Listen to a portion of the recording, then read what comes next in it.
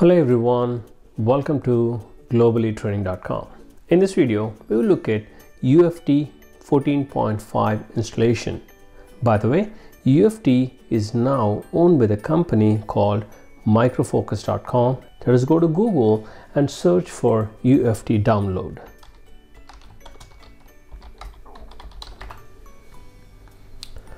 Okay, if I can spell it correctly, but still it pulled it up the very first link points to microfocus.com. Let me click that and here is the UFT downloads page.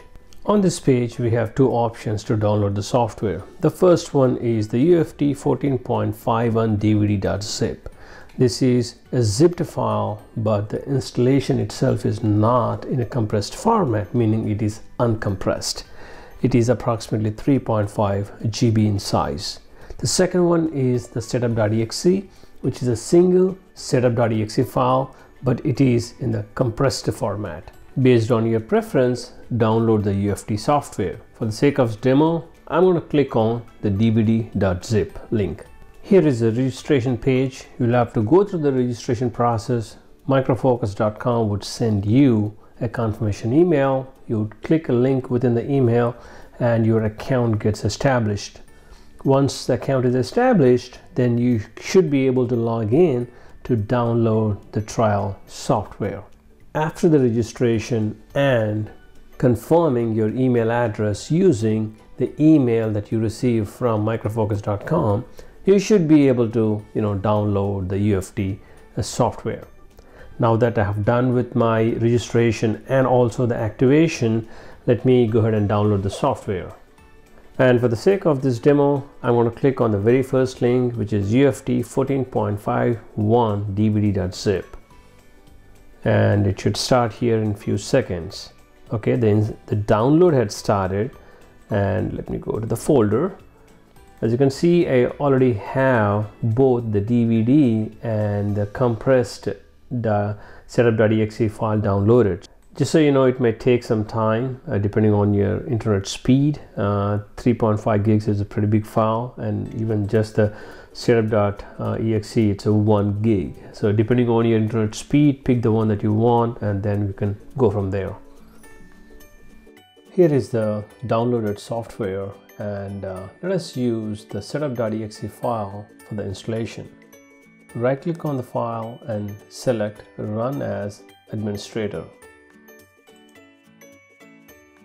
Here is the user account control screen. Go ahead and click yes for this. As I had mentioned before, the .exe, which is a compressed format, needs to first extract the installation files into a temporary location before it can actually kick off the installation.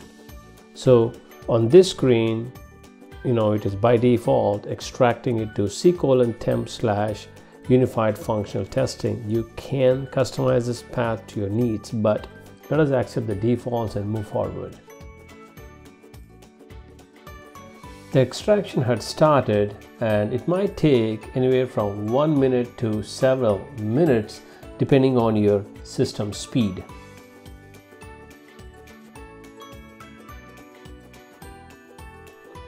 The extraction is done and it is now displaying you the list of prerequisite programs it needs. So depending on your system, that particular list might be small or a long list. It all depends on your current state of your system. Go ahead and accept the defaults. There is nothing to do anyway. Just click OK on the screen. Prerequisites are being installed now.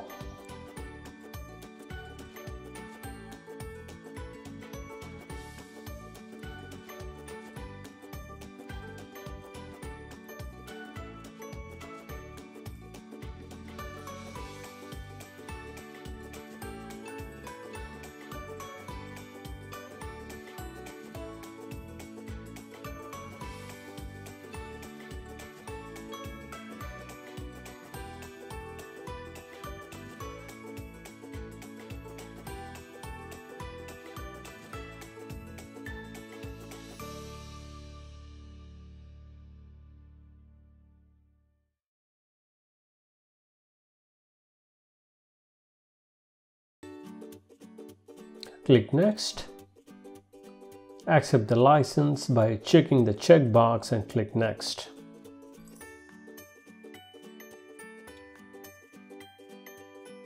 Here is the add-ins screen and you can select the add-ins that are by default not selected to be installed with your installation process. So select the desired ones and click next.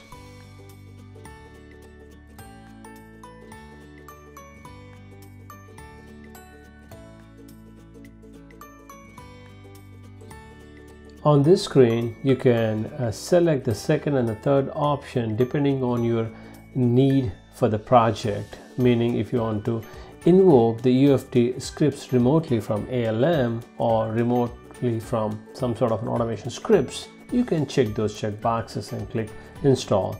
But for this demo, I'll just accept the defaults and click the install button.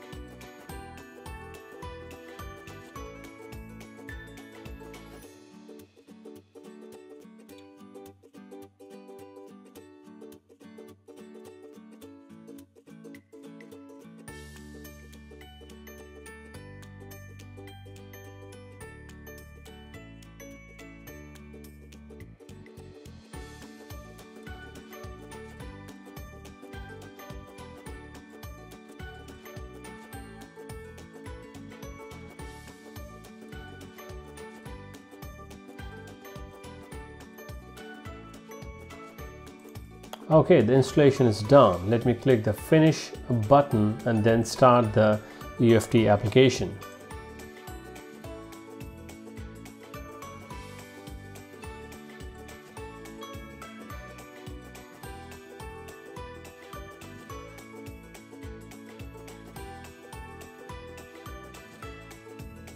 Click continue button to use the trial license.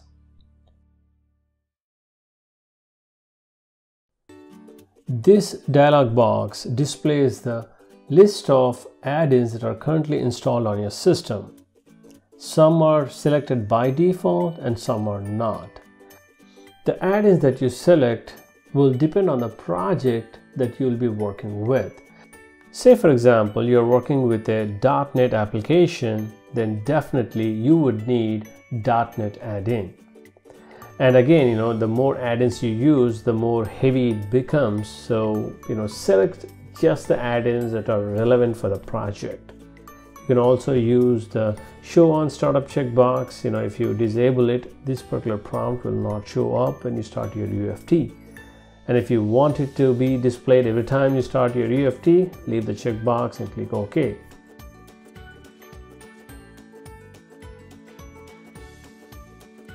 the very first time you start the UFT application on Windows 10, you will definitely encounter this particular Windows Defender Firewall prompt. All you have to do is click allow access and you're good to go. And we are in. Here is the UFT interface. Well guys, in this video we downloaded the software and installed it. Well, that's it in this video. See you in the next.